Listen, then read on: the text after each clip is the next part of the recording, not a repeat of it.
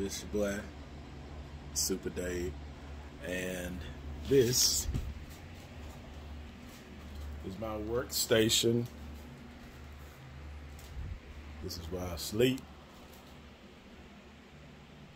And this is my mother. She bought me some ice cream.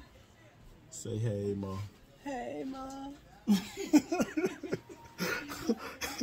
That's my mama, y'all. She's she uh she has uh bone cancer. But it's one more other thing I want to show you.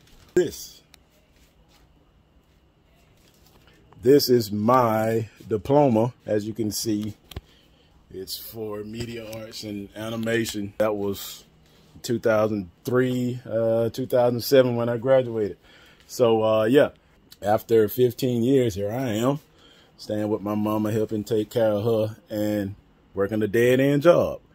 So I have an idea and it's called Georgia Illustrated. What Georgia Illustrated is, it's it's it's for the community and what we're gonna do, we're gonna teach these guys what I know, you know, after 15 years and $983,000 in student loan debt, uh, I wanted to, you know, branch out and give everyone else a chance to learn what I know. I wanted to offer workshops in animation, uh, illustration, 2D, you name it.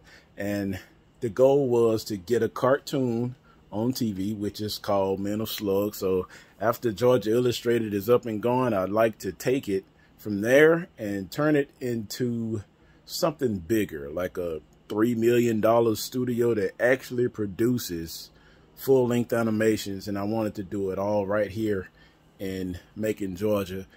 This grant would not only transform my business, I believe it will transform the entire city, getting these kids off the streets and giving them something better to do with their life.